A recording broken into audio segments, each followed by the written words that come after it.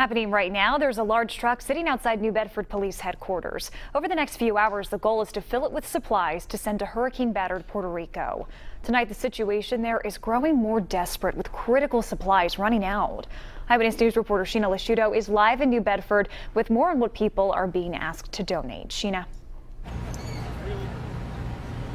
The New Bedford Police Department was ready to send items down to Texas when Hurricane Harvey hit, and tonight they're ready to help out again.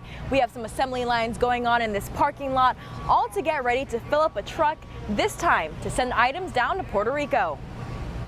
The New Bedford Police and Fire Department, the nonprofit United New Bedford, and the Bristol County Sheriff's Office spreading their generosity. And for some, it hits home. We have personally families in Puerto Rico that are stuck there and were devastated by the, the hurricane. New Englanders are invited to drive through the New Bedford Police Department parking lot and drop off donations that will soon head to Puerto Rico. And we have volunteers on the ground that are organizing them on pallets so we can wrap them up and load them up on a truck We via forklift. Specific items requested include batteries, flashlights, toiletries, and first aid kits. These are the necessities of our everyday life, um, well, especially for them now, currently with the uh, disaster that they that, that, was just impacted out there. Um, so hopefully we can get these items to them as soon as possible because they need they needed those items yesterday.